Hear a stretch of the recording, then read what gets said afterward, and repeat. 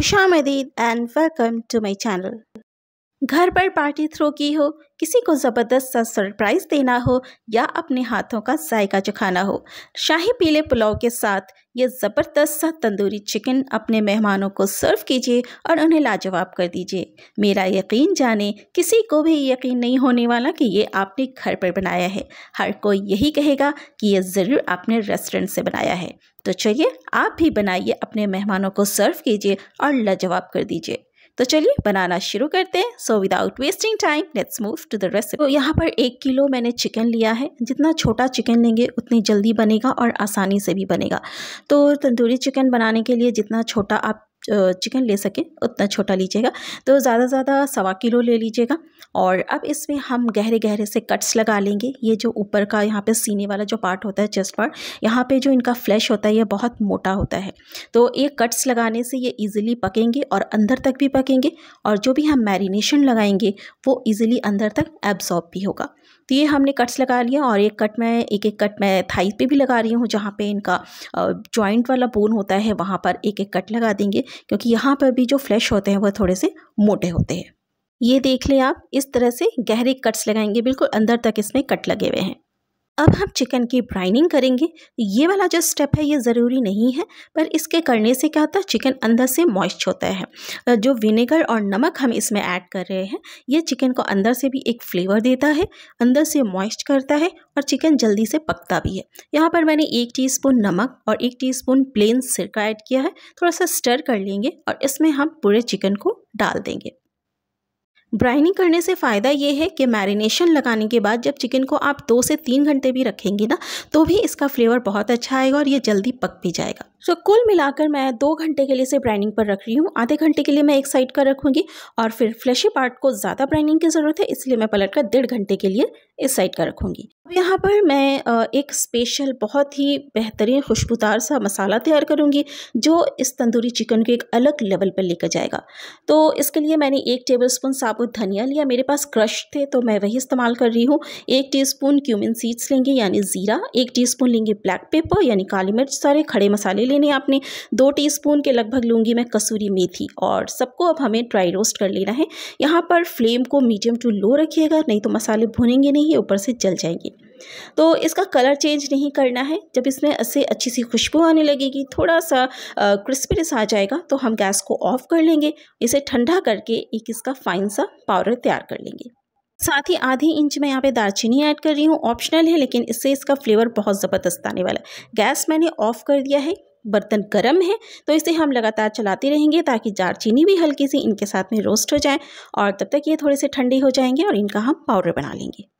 और अब हम यहाँ पर हंकर्ट तैयार कर रहे हैं। तो मैंने देखिए आधा कप दही इस तरह से छलनी पर रख दिया है और जितना भी एक्स्ट्रा मॉइस्चर है वो पंद्रह से बीस मिनट में इसमें से रिलीज़ हो जाएगा। तो पंद्रह से बीस मिनट के लिए इसे मैं ऐसे ही छोड़ूँगी और हमारे पास हमारा हंकर्ट तैयार हो जाएगा। और अब हम तैयार कर लेते हैं इसका मैरिनेशन तो सबसे पहले हम बोल में लेंगे हंकर्ट जिसे हमने तैयार करके रखा था और अब इसमें हम ऐड करेंगे कुछ पाउडर मसाले।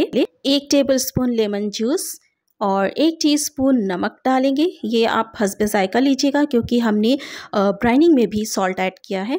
एक टीस्पून ले लेंगे चिली पाउडर ये अपने स्पाइस के अकॉर्डिंग ऐड कीजिएगा और साथ ही में एक टीस्पून ऐड कर रही हूँ कश्मीरी लाल मिर्चों का पाउडर जिससे बढ़िया सा कलर देगा। साथ में ऐड करेंगे half teaspoon turmeric powder, यानी हल्दी का पाउडर। दो टीस्पून मैं ले रही हूँ जिंजर गार्लिक का पेस्ट। अगर आप अलग अलग लेंगे तो एक एक टीस्पून डालिएगा। एक टीस्पून लहसुन का पेस्ट और एक टीस्पून अदरक का पेस्ट। हाफ़ टी स्पून मैं ले रही हूँ यहाँ पर फ़ूड कलर।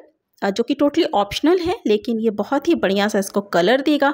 और बिल्कुल मार्केट वाला अगर लुक और कलर और टेक्सचर देना है तो ये ज़रूर ऐड कीजिएगा।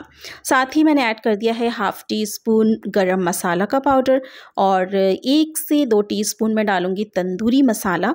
और साथ में हमने डाल देना है जो हमने मसाला तैयार किया था स्पेशल वाला मसाला, वो दो टी मैं ऐड कर रही हूँ। दो क्या तीन टी डाल लिया था मैंने।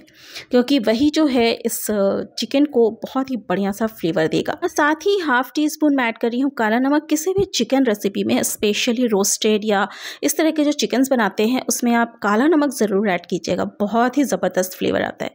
और अब इन सबको हम अच्छी तरह से मिक्स कर लेंगे। बहुत अच्छी तरह से मिक्स करना है ताकि जो दही हमने ली है, उसमें ये सारे मसाले बहुत अच्छी तरह से मर्ज हो जाएँ।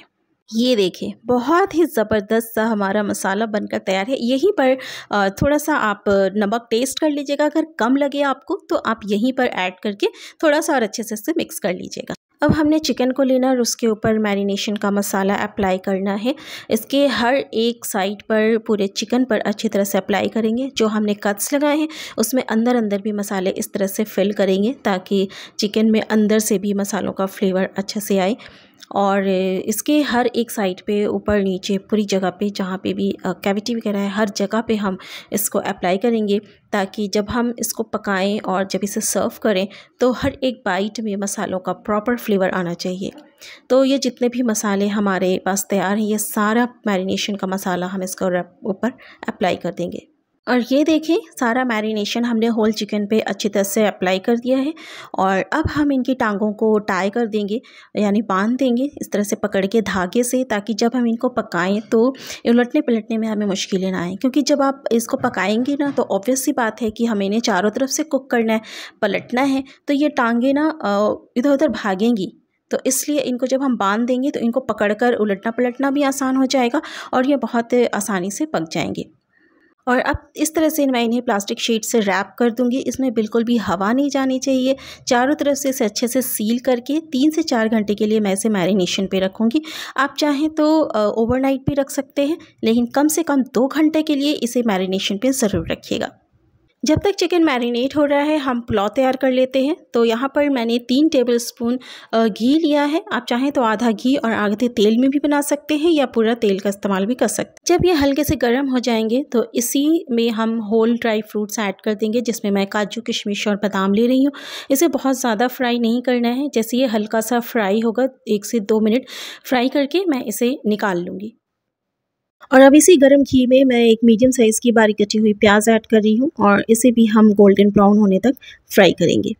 अब इसी तेल में हमने कुछ गरम मसाले ऐड करने जिसमें तीन से चार हरी इलायची, एक तेज़ पत्ता तीन से चार मैंने लौंग लिया है, इन्हें क्रैकल कर लेंगे।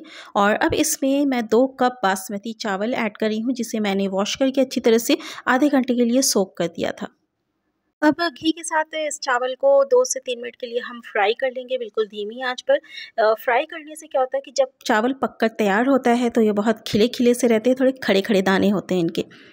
अब इसे एक से दो मिनट के लिए मैं घी के साथ चावल को फ्राई करूँगी।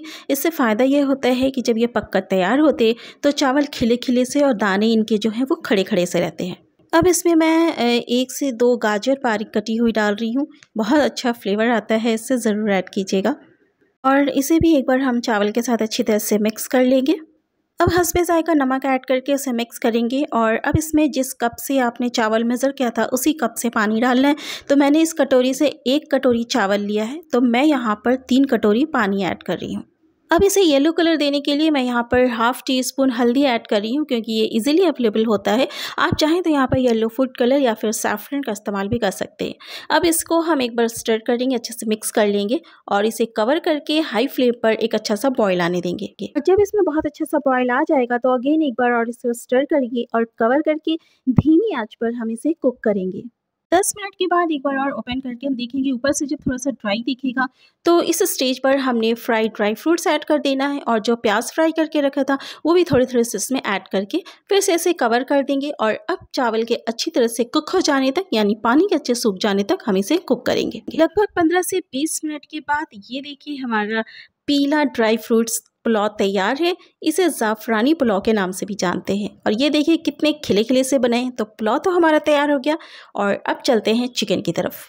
अच्छा जी तो इसे चिकन को मैरिनेट होते हुए तो तीन चार घंटे हो चुके हैं। अब इसके टेस्ट को और भी ज़्यादा इन्हांस करने के लिए और इसके शेप को मेनटेन करने के लिए मैं इसमें दो बॉयल्ड एग डाल रही हूँ। ये मैरिनेशन के टाइम पर ही डालना होता है, बट मुझसे स्किप हो गया था। तो मैंने इसके लेग को फिर से खोला है और इसमें मैं एग डाल रही हूँ और इसे फिर से मैं टाई करूँगी। अच्छा जी मैरिनेशन से पहले मैंने इसको तीन चार बार साफ़ पानी से अच्छे से वॉश किया था, क्योंकि हमने इसको विनेगर में ब्रेमिंग करा था। तो उससे क्या होता है कि थोड़ा सा इसका फ्लेवर स्मेल आ जाता है तो वो पानी से वॉश करने से रिमूव हो जाता है। चिकन को कुक करने के लिए एक टेबल स्पून कुकिंग ऑयल और एक टेबल स्पून के लगभग बटर लेंगे, जब ये अच्छे से गर्म हो जाएगा तो इसमें हम अपने मैरिनेटेड चिकन को डाल देंगे। चिकन के साथ जितना भी मसाला उसमें बचा होगा, वो सारा मसाला भी हम इसमें ऊपर से डाल देंगे। अब धीमी आँच पर हम इसे पलट पलट कर चारों तरफ़ से पकाएँगे, जब तक कि चिकन अच्छी तरह से गल नहीं जाता है। ये देखिए, एक साइड कितना प्यारा कलर आ चुका है और इसी तरह से हम पलट पलट कर इसे चारों तरफ़ से अच्छी तरह से गल जाने तक कुक करेंगे। अब यहाँ पर मैं नाइफ़ से प्रिक करके चेक कर लेती हूँ, नाइफ़ ईजिली जा रहा है। इसका मतलब ये बहुत अच्छी तरह से गल चुका है और अब जो ये मसाले हैं, उसको हम चिकन के ऊपर डालते जाएँगे और इस तरह से इसे चलाते जाएँगे। यहाँ पर फ्लेम मैंने मीडियम टू हाई किया हुआ है और बिल्कुल भी यहाँ पर हाथ को नहीं रोकना है। फटाफट से इस तरह से हम चलाते जाएँगे। और अब मैंने गैस को ऑफ़ कर दिया है क्योंकि हमारा जो तंदूरी चिकन है वो बहुत अच्छी तरह से तैयार है। Now last but not the least क्योंकि हम तंदूरी चिकन बना रहे हैं तो वक्त आता है इसे तंदूरी फ्लेवर और लुक देने का। तो इसलिए मैंने यहाँ पर मेरे पास एक गैस तंदूर है, वो मैंने इसके ऊपर रख दिया है गैस को ऑन करके। इस तरह से हम इसे चारों तरफ़ से घुमाएँगे। एक साइड का बहुत देर तक नहीं रखिएगा, नहीं तो जल जाएगा। इस तरह से घुमा घुमा के हम चारों तरफ़ से इसे तंदूरी फ्लेवर दे देंगे।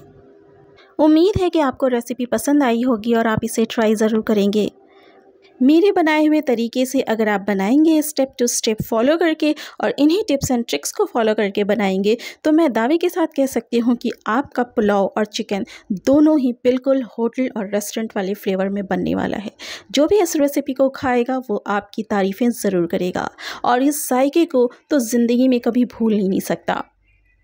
ये देखें थोड़ा सा अगर मैं आपको तोड़ कर दिखाऊँ, ये देखें कितना मॉइस्ट कितना जूस और कितना सॉफ्ट अंदर से भी है। बहुत ही अच्छी तरह से पककर तैयार है, बहुत अंदर तक इसमें मैरिनेशन गया हुआ है, मसाले भी बहुत अच्छी तरह से पककर तैयार हैं और ऊपर से चिकन देखें कितना क्रिस्प और क्रंची भी लग रहा है। तो आप भी इसे ज़रूर ट्राई कीजिए, बनाइए और इसे ज़रूर खाइए और अपने दोस्तों को, रिश्तेदारों को घर वालों को खुश कर दीजिए। और अपने तंदूरी चिकन की पिक मेरे कमेंट सेक्शन में ज़रूर शेयर कीजिएगा। फिर मिलते हैं एक नई रेसिपी के साथ नई वीडियो में। तब तक के लिए अपना खूब सारा ख्याल रखें, खुश रहें। वीडियो देखने का बहुत बहुत शुक्रिया। Thanks for watching my video